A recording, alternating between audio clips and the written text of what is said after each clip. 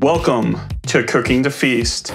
Today we're going to be doing a review on the brand Misen and their essential stainless steel cookware set. The pans themselves are very heavy duty and they look like this and the rest of the ones we have here. Each pan itself is made up of five layers of aluminum and stainless steel alternating and come in at about three millimeters thick. Now, let's go over what's included in the set itself. The first up is a 12 inch stainless steel skillet. This is what's going to probably compromise most of your cookware here. The included lid here and sits on just nicely.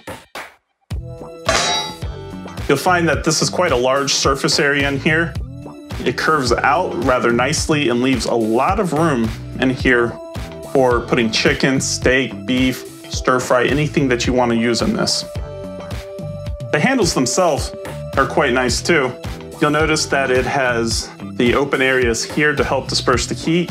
And the one thing I noticed on this is these almost rarely ever even get warm. After a long cooking session, the handles do start to get a little warm, but not burning or anything, nothing that's uncomfortable that I wouldn't put my bare hand on this. Next up, we have the 10 inch skillet. Again, big surface area compared to other pans of this style. Great overall use. Our next pan here is our 10 inch stainless steel saute pan. Like all the other ones, we have our 10 inch cover to go with it that also fits on the 10 inch skillet. And then looking in closer, you'll see that this has the sidewalls up that go up straight compared to the skillet. One of the things, it also has the included extra handle on the side so that if you're doing something with a lot of liquid in here, you can grab it and have a firm handle on it if you need to transport it or move it around the stovetop. Our next pan up is our three quart saucier. Of course, the included lid, and then you'll notice the big difference on these is the curved edge on this. This is gonna be helpful when you're trying to stir around in the pot with a spoon, a large wooden spoon, or even a spatula. Get the edges in here. You will have less burnt material in here, if any, because of the design that really makes a lot of sense with this. And then finally, we get to our eight quart stock pot. Included lid. This is exactly what you would expect in a stock pot this one might be the heaviest of all of them, so heat retention is gonna be an incredible plus on this one. This is gonna be great for if you're making all day long stocks, chili, cooking down things, and especially when there's a lot of liquid involved, boiling pasta, things of that nature. So I want to take a good look and get, put it through the tests of the footage that we've done for Cooking to Feast over the last six months and show you what kind of results you can get. Um, fast forward, I'll let you in a sneak peek the review is going to be good because I've absolutely loved using these pans. All right, so we're going to do the hands-on practical test with this, and we're going to start with steak. Because if we can't cook a good steak with these pans, why bother? We have first a T-bone steak in the 10-inch stainless steel skillet. So take a look at this. We're searing on both sides, and you see the hot heat that we've gotten the pan up to by allowing it to come up the temperature for about five minutes is doing its job. Flip that steak around and take a look at that sear. All the salt crust and everything in there, that is what we're looking for. Hey, these are doing a great job so far, but let's see what happens when we finish it off. Look at the bone, everything's starting to pull back a little bit. And so we've added some butter, some thyme, and some garlic. And we're gonna tilt this pan. Because of the large surface area here, we're now able to spoon this butter up onto the steak itself. Another great quality of these pans is the surface area you're able to get with the pan. I'm not even using the 12 inch pan, and this is more than enough for my purpose right now. So plated, that's a good looking steak. That's fantastic. Look at that crust on the outside. That's what we're looking for. And now let's cut into it to see how we did. There we go. We have uh, medium rare to medium, and that's how I like it. Look how much juice is still coming out on the plate. We did a great job. So next up, we're going to use the 10 inch pan again, and we're going to cook a strip steak. Now let's see that. Yep, check. That's a good sear on there. And so we got a hot pan, but let's see, once we turn it over, let's see if it sears the other side just as good. Or does it lose all its heat and you just get an, a brown colored steak with no sear on the other side? Before we do that, again, we're tilting the pan, we're getting the nice butter action going, and let's take a look now. that's another good looking sear on there, and that's a good looking steak. So there you go, the thermal mass of these pans, once they're heated up, they stay hot. It's like similar to cast iron in that sense. That is what we want with a good set of pans. So let's do some sides here. Green beans. I already got some oil in there and fat rendering down from the bacon and we're to try to do a nice sear on these green beans. So far, so far, so good. Uh, still using this one is the 10 inch skillet, and we put some water in and we covered it up tight with the lid. And look at all that steam coming out. The lids on these things work really well. They trap everything down in there. These are done. These are good, seared outside, nice and soft because of the steam. So let's move on to some rice here. Some people shy away from rice and stainless steel. But look, nice fitting cover again, all that steam coming out, and this rice is done and it's perfect. Look how fluffy it looks. That's what you want right there. Another check. Glazed carrots. They was rendered down. Another check. These look great. So now let's move on full dinner test. So we're gonna take a look at these and try to make a whole dinner with them. First, we're starting out with the 12 inch Misen stainless steel pan here, and I have half chicken breasts. You can even fit another one in there and still not crowd the pan up. Now look at the flip on these. This is the seasoning and a great sear on the chicken. I let these warm up at a medium heat, and we're getting exceptionally good looking chicken from this. So you see all the pan drippings in there that have reduced down. And we're gonna take these with the onions that we're gonna add, we're just gonna get all that off of there. So it's not burned on. These are doing a great job. And you see how it's releasing all that food material into the onions. I've added wine to deglaze these. And now we're going to add the cream to form our sauce. This is a one pan meal, and this Misen pan is doing a fantastic job. We're just warming the chicken back up, and then we're going to plate it. Take a look at that. That's our finished product. Full meal. First check, yes. Now we're taking scallops here. We already cooked the steak in this, and so we're getting great sears on that. We're deglazing with our chicken stock, and then we're to add a little more heavy cream into this. This is looking great so far. And then now notice, I'm using a metal spoon on these because you can do that with stainless steel. So we're to finish up the sauce and we're to plate it and then we're to put our scallops and then our steak, which was seared and baked using the same pan. And then we put our sauce right there on the steak and the scallops. So another check. So now we're going to move on to onions. To these onions, we're going to add some chopped up apples. And this 10 inch saute pan works great for this because you'll see all the liquid in here. And then we're just going to render it down. This does a great job. As you'll see, nothing is sticking. And then we have some applesauce. In addition to the applesauce, we're going to use our three quart saucier to make mashed potatoes. And see, we can mash them right into the pan once they're soft because this is stainless steel and we don't have to worry about a coating.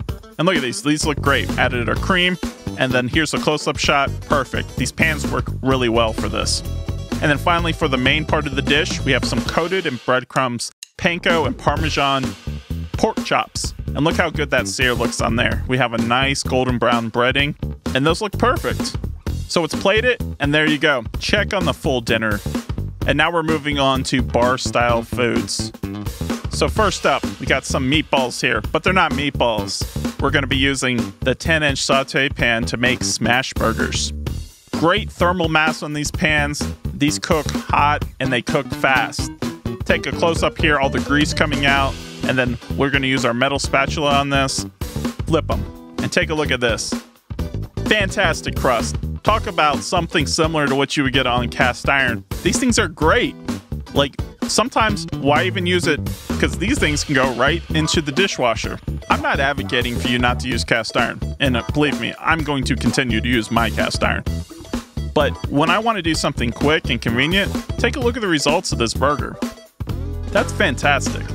And I, so that's another check. So, can you make smash burgers on this? Absolutely. How about a normal burger? Why not?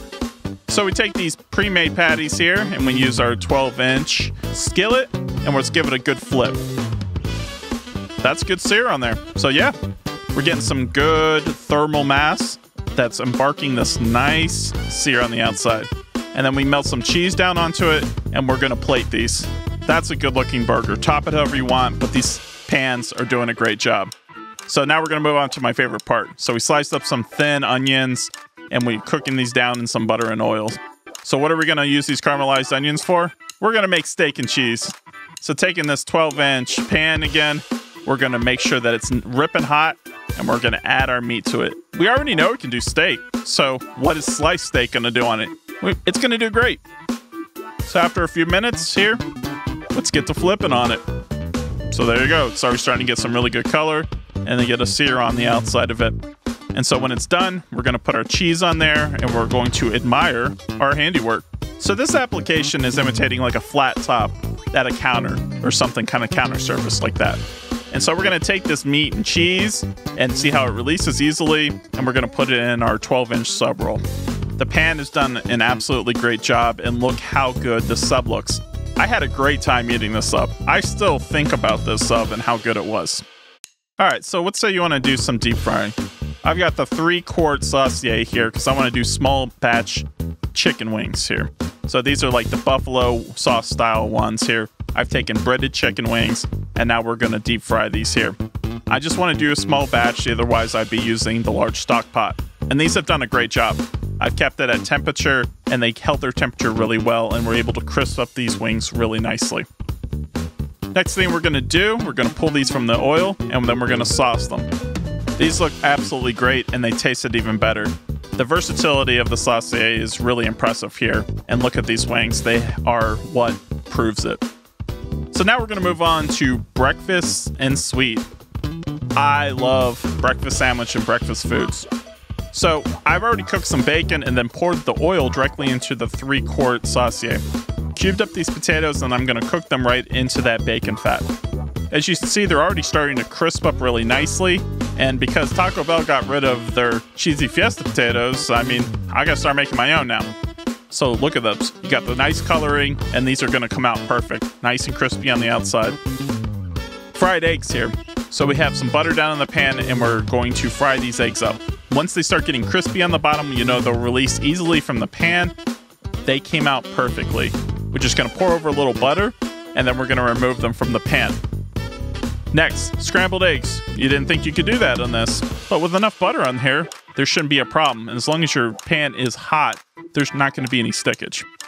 These look good. They taste great too. Another big thing that you would want to use these for is for hash browns.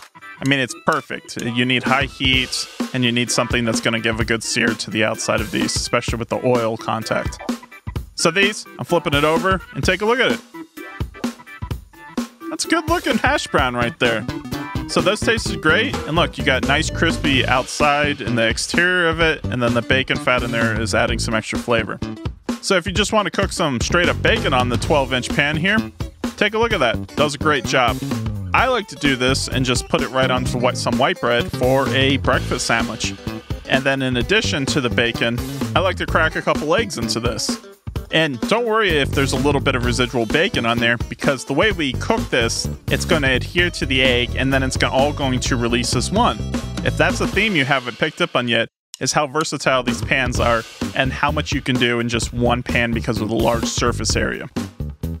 I told you, it's going to release really well. And so I put these right on my sandwiches, and that's a good day for me. We're to do a little bit of sweets here. I've cut up some apples and I'm putting these in the large 8 quart stock pot.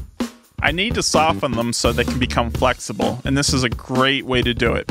So I put these on medium heat and I wait until some of the liquid has come out and they're flexible. Then I put them into a bowl, and so that you see my tart shell is where I line them all around in a rose pattern. After they're baked, you get a nice tart like this well, these wouldn't be anything great if you couldn't do the quick, easy, instant type of meals, you know, that you would do on a regular weeknight. I got some hamburger helper here. I eat this all the time. Check. Taco meat with the seasonings? Another check. And you know what? It looks great and it can do everything you need. Normally, with dumplings or like pot stickers, they recommend using non-stick, and yeah, you can still do that. They do stick just a tiny little bit comparatively. But here's one thing you're not going to get with it. Look at that sear. You're not getting that on nonstick, and they taste great. So try it out. Spaghetti sauce with some hamburger meat tastes great. In our 8 quart stock pot, I found an insert that fits right in there. And we're going to put some angel hair pasta with it. Another check. So finally, we're going to do some box macaroni and cheese. You already know this is going to do it well, but I just wanted to show it. We can mix everything directly into it because it's stainless steel and don't have to worry about scratching it up. So there you go. Everything works here. And let's go back to some final conclusions. One of the first impressions that I had of these pans right out of the box was how heavy they were. These really, really are a step up in terms of quality from what I'm used to. The weight might catch you off guard the first time, but eventually you get used to it. One of the first impressions, besides the weight, was just how beautiful these pans look. The shininess of them, and you'll see here, they're still shiny. I've had these for six months now. And every footage that you've seen in this video, or will see, was used while they were still new or on the way till now. This is the last footage that I'm taking is of the beauty shots of this now. So I can say they've held up pretty well. They've held up really well, actually just slight dinks here and there. Anytime burnt on food, any kind of discoloration, I know that I can always bring it back to the shininess here. And really, it inspires me to want to cook foods with them. So every time I see them in here, nice and shiny and clean, I think, you know what, let's not go out to eat. Let's not just put something together that's real quick and easy. Let's use these because, in some senses, almost like a work of art. So there you have it. So here's been our look at the Misen collection, the essential collection of stainless steel cookware. I have to say that this has blown me away better than the results. I took a long time in research before I even pulled the trigger on this, and I'm glad I did. The only big downside is the fact that I went with the essential set and not the complete. They have three different versions. They have the starter, the essential, and then the complete set. The complete set itself comes with a two quart version of the saucier. And then in the other case, you have a secondary pan um, that comes in addition to this, which is a six quart rondeau pan. It has the shortened handles on both sides, and think of it more like a braiser pan. This is the essential set. You can do essentially everything you need to with this. But, you know, when we're cooking the feast, sometimes you want the best things in life. So that's it for today for Cooking to Feast. This has been a review of the Misen Essentials Collection. If you liked it, we're going to be doing more reviews and subscribe for more.